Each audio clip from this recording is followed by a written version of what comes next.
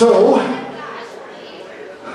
for the Earthless Baby Spirit album, is this one to trade your fucking necks and bend it around?